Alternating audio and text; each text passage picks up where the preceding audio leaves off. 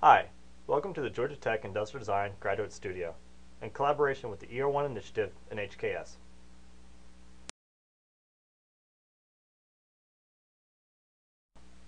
On behalf of myself, Jonathan Jowers, my classmates Camilo Vargas, Ritesh Rathi, and Doria Kung, who you'll meet later, and our professor Claudia Weingarten, we welcome you.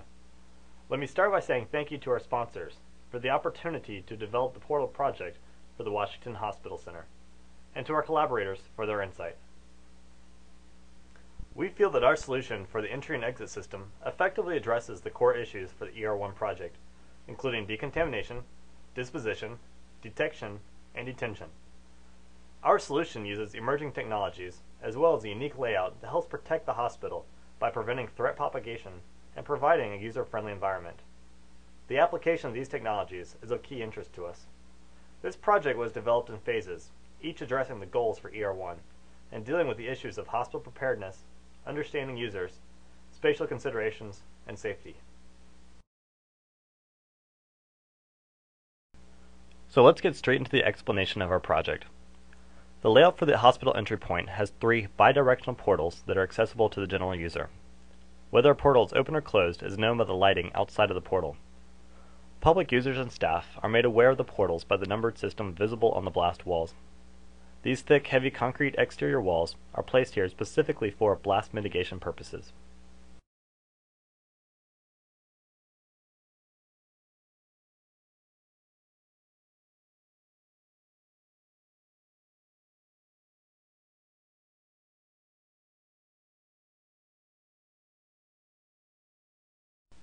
The portal is divided into the following sections. The security booth, the main entry and exit hallways, the wheelchair and stretcher storage areas, and the blast mitigation walls. Let's see what happens when someone enters the hospital. The three portals are versatile in the ways which they function.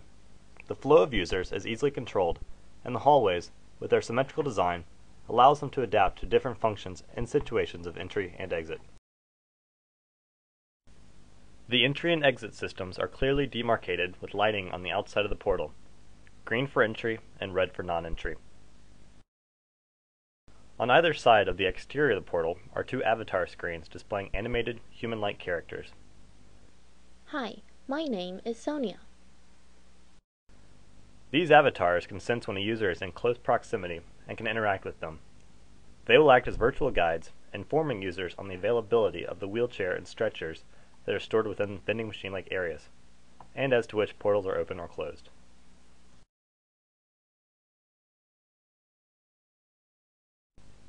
Once inside the portal, users are pre-screened with both metal and biological contaminant detectors, as well as thermographers. This is done with no effort from the user. Security booths in the center can work with either human facilitation as well as automation. Much of the data collected is displayed to only the security guards inside their booth. Iris, the hand scanning devices, are where users are expected to scan their hands so they can be identified.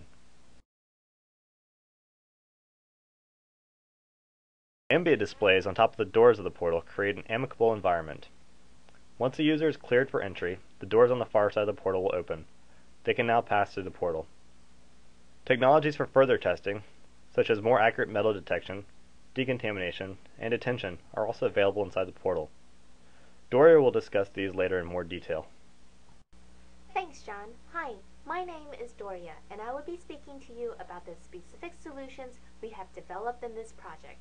I will navigate you through our identification and recognition system, decontamination process, detention functionality, and how users can access wheelchairs and stretchers.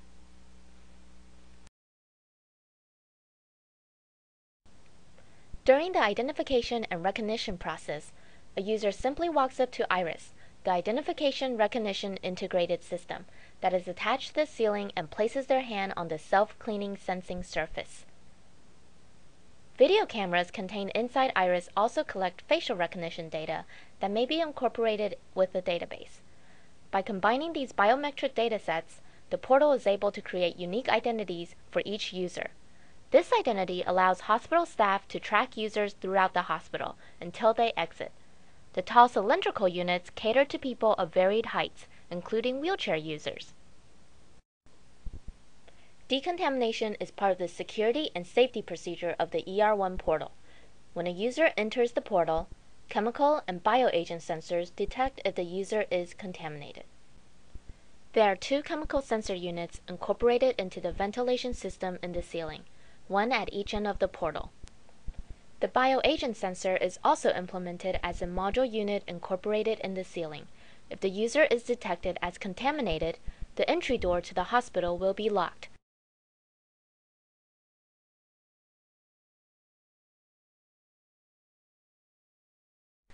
Then a circular icon on the floor will light up.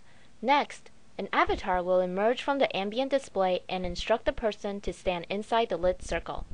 Once the user is located inside the circle, the decontamination shower curtain will drop from the ceiling. There are three pouches located on the curtain. The first pouch is for the user to dispose his or her contaminated belongings. Once the user disposes the contaminated belongings, the decontamination process will start. The showers used for decontamination can also be used for the general cleaning of the portal. The second pouch contains a shower brush with a soap dispenser. The user will be instructed to use the brush and soap to clean and decontaminate themselves.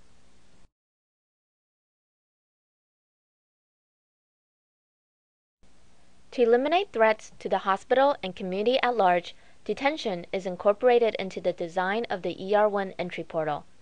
When a user with an excessive amount of metal on them is detected via the metal detectors, they will be asked to go for further testing to the backscatter device located on the opposite walls of the security booth.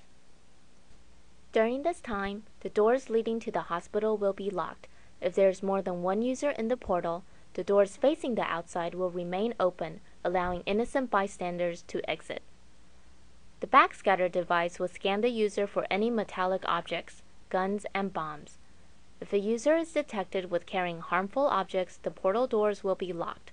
The authorities will be notified, and the user will be asked to dispose of the offending object in the disposal drawer at the security booth. If no threatening devices are found on the user, the portal doors will open allowing the user to enter the hospital.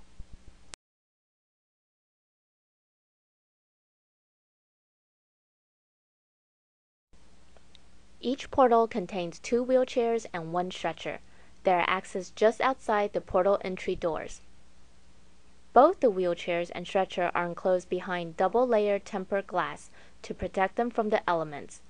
This design decision was made to ensure the cleanliness, security, and easy access of the wheelchairs and stretcher. With the wheelchairs and stretcher placed partially outside, the main portal hallways can remain entirely closed depending on the situation. To access a wheelchair or stretcher, the user must open the latch corresponding to the item. Activating this latch alerts the security staff within the portal to the user's whereabouts and allows the user to be identified. Once a wheelchair is pulled out, it can be unfolded and ready for use. Likewise, once the stretcher is pulled out, it can be quickly unfolded and ready for use. There are instructions on the doors to provide users with the setup information for both the wheelchair and stretchers. If there are no wheelchairs or stretchers currently located at the user's portal, an avatar will instruct the user to the nearest access location at another portal. To prevent the misuse and theft of the wheelchairs and stretchers, the wheels will automatically lock if they leave the hospital premises. They will be returned by the user or security staff. Now we will move on to the second half of our presentation, where we will focus on the details of our solution. I hope that you've enjoyed part one. I'd like to pass the baton on to Ritesh and Camilo. Take it away, guys.